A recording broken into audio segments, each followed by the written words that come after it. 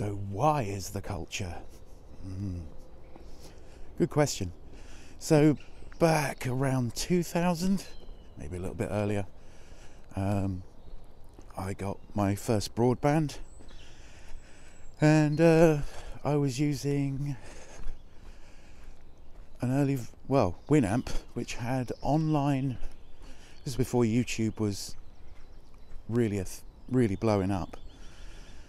So I had uh, Winamp, and there were some online internet thingies, and there wasn't much browsable video content at the time that was longer than about five minutes.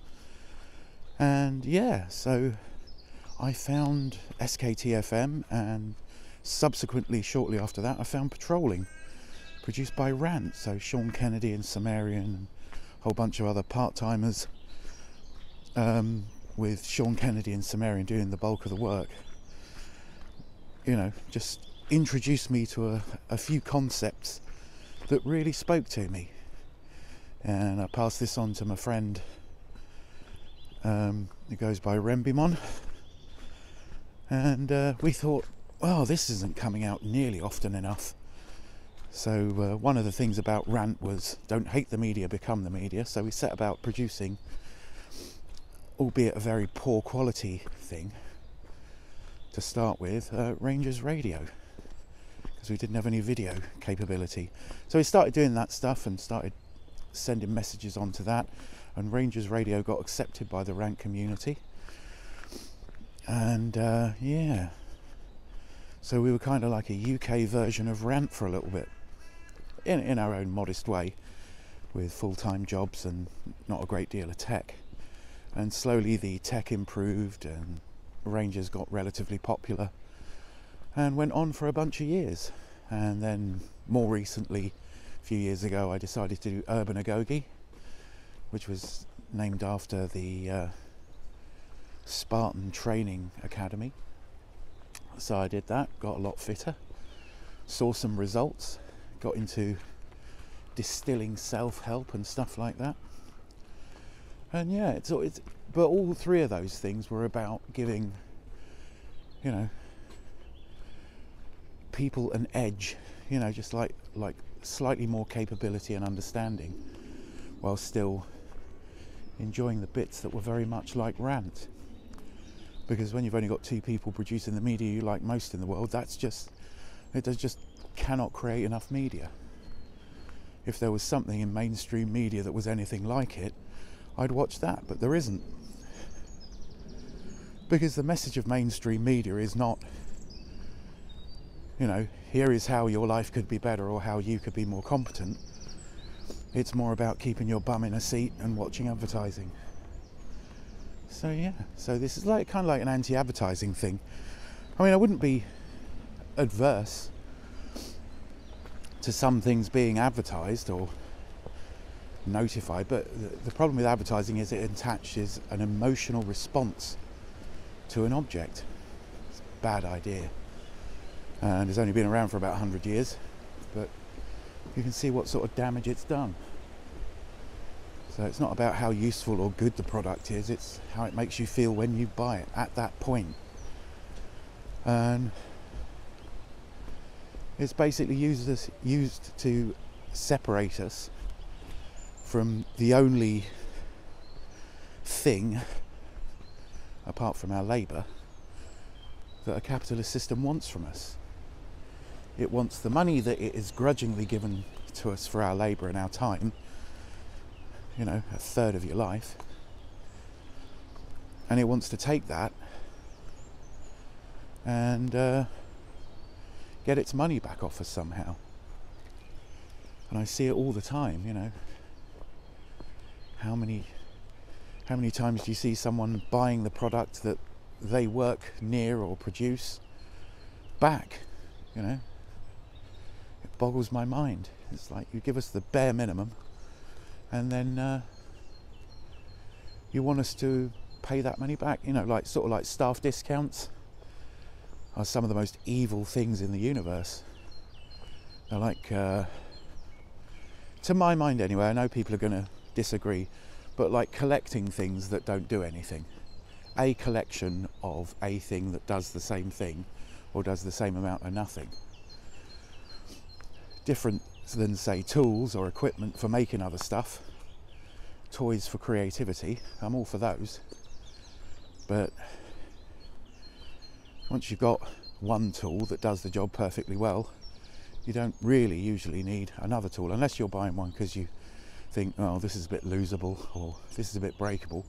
I'll get a couple more just in case so I'm not deprived of that ability to make stuff. So, yeah, there's some really, really pointless things out there for sale. And, and don't get me wrong, I'm guilty of it myself. I still smoke. So, that's not only pay, buying something that does nothing for me, but is also actively trying to kill me. So, yeah, so we're, none of us immune.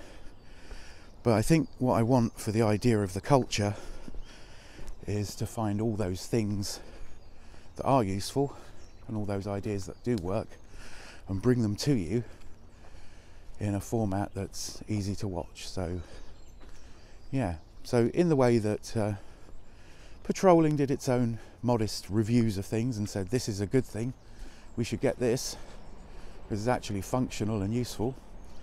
And uh, yeah, and uh, some philosophy and basically carry on that tradition of patrolling and SKTFM and the whole rant, the ideas of rant.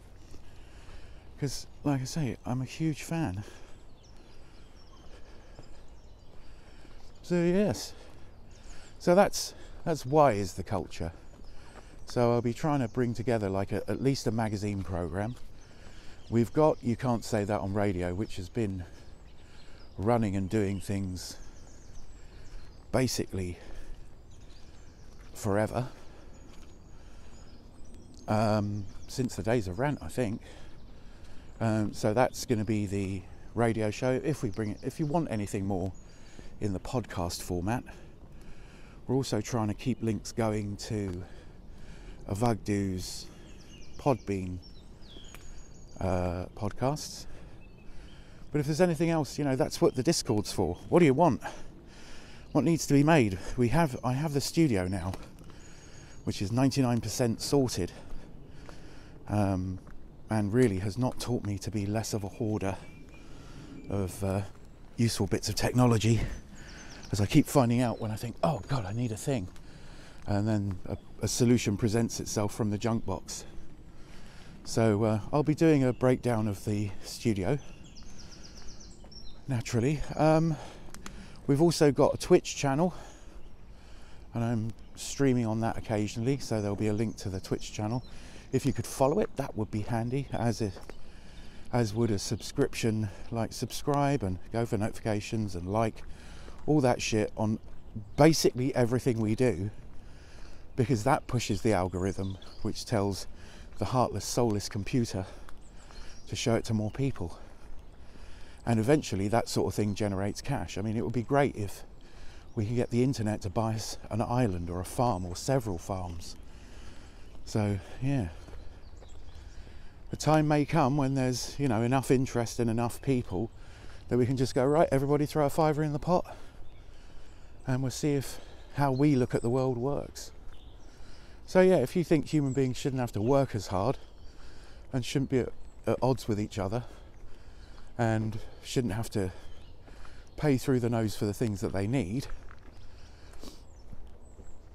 you know, then let's see what we can do. I mean, this is hopefully going to be entertaining, but it does have an end goal of some of us at least being able to bugger off and do something a bit more creative with our lives.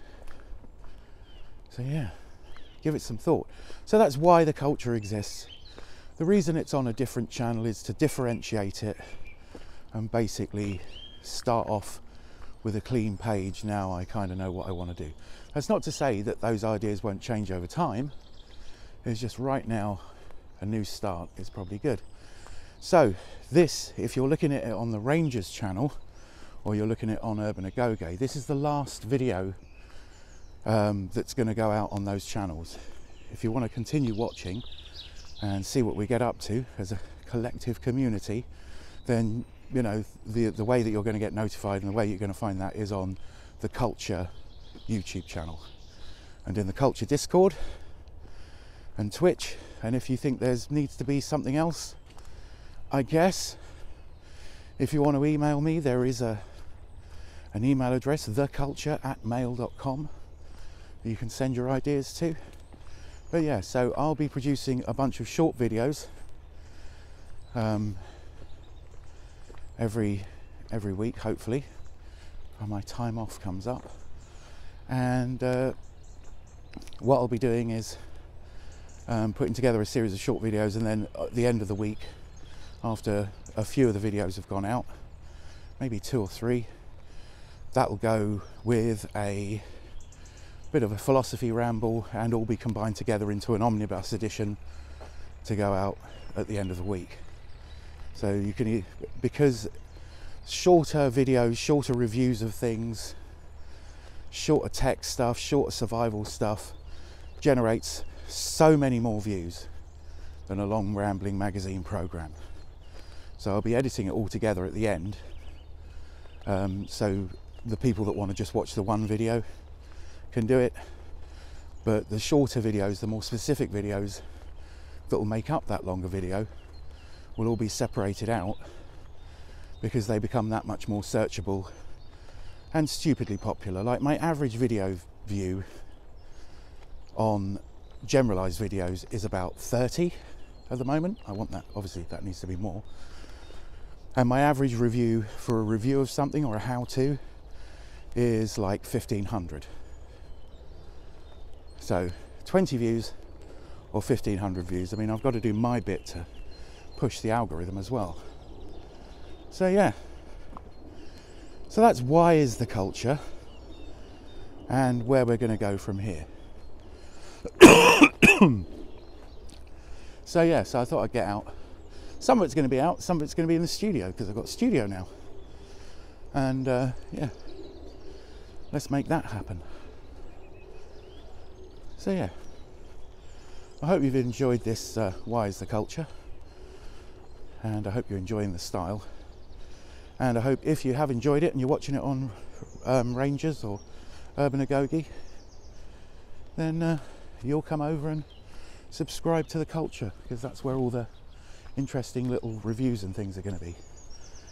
So, yeah, I think that's uh, enough of me blaring on now. So, thanks for watching and do take care. We'll see you. Come and come and join the Kulture. It'll be fun. We'll make the internet buy some nice things. Do take care.